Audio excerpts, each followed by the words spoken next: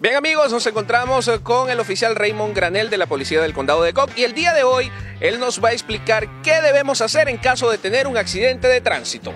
Pues primero que nada, Alfredo, saludo a nuestros amigos de Mundo Hispánico. Gracias por tenerme acá en el día de hoy en el Departamento de Policía del Condado de Cobb. Eh, realmente tu preocupación es una preocupación que, que, dentro de la comunidad hispana es una muy natural.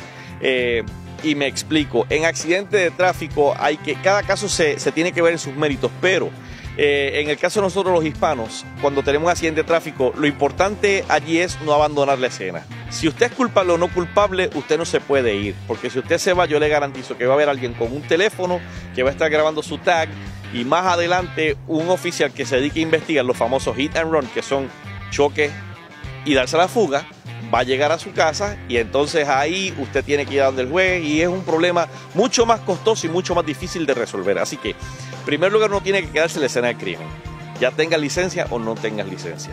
Segundo, en, en este lugar donde fue el accidente, vamos a pensar que es una vía de rodaje como estamos ahora mismo acá al lado de la carretera, ¿verdad? Vamos a pensar que es allí en la carretera.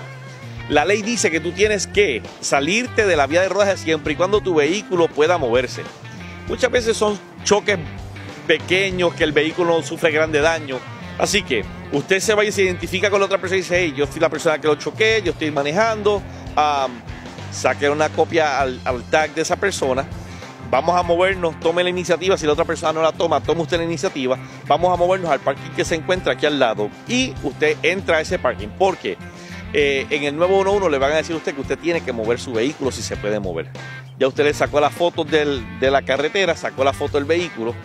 Y así de esa forma, cuando usted está en el estacionamiento, usted está más seguro que cuando está en la vía pública. Yo le digo a las personas que si tienen dudas, saquen una foto del incidente. Lo que usted tiene es que irse detrás del vehículo, saque una fotografía de cómo los vehículos quedaron eh, finalmente, o sea, en la posición final.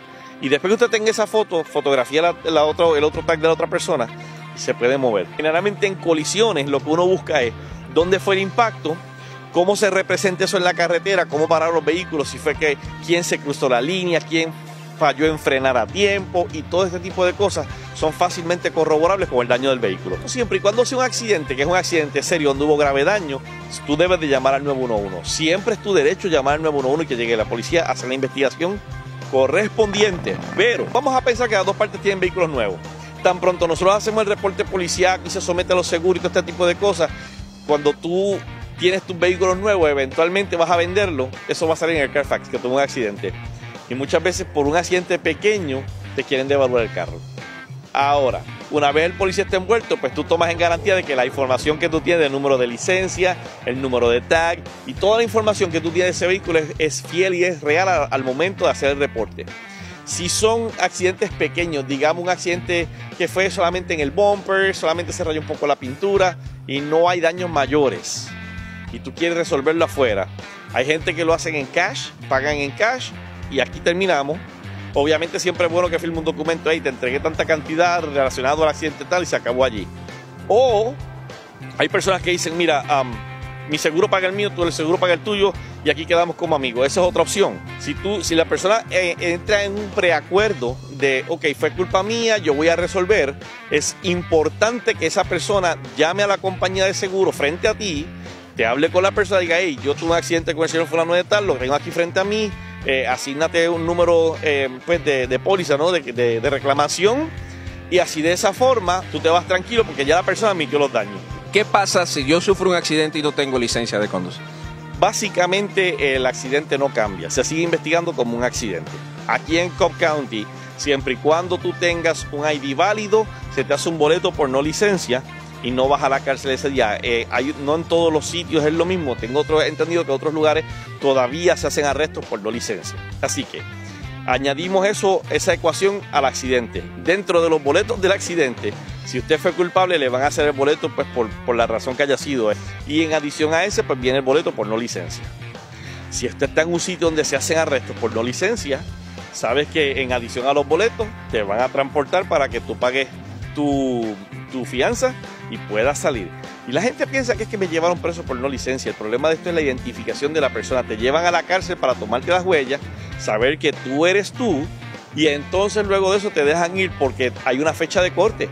Y si ellos no te identifican bien, no hay forma de que el sistema pueda ir sobre ti si no tienen tu identificación correcta. Por eso es que se llevan las personas a la cárcel. Unas últimas recomendaciones a todas las personas que nos están viendo en caso de tener un accidente. No se vaya de la escena. Lo más importante es no se vaya de la escena, uno. Número dos, sepa con quién usted está haciendo o, con quién usted está trabajando ese caso. Conozca a la persona que está allí.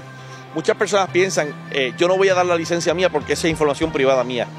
La información no es privada. Cuando el policía hace el reporte, en ese reporte policíaco está toda su información, incluyendo número de teléfono, dirección y todo. Así que de nada sirve que usted trate de eh, cubrir esa información porque va a ser pública. Como quiera, la policía eh, tiene acceso a la información para hacer el reporte y la va a compartir. Así que no es importante. Y siempre, eh, como les digo, no se queden en la vía de rodaje. Va a, orillarse, salirse fuera de la carretera principal. Quedarse en la carretera principal es un delito. Si usted se queda, le pueden dar un boleto por eso también.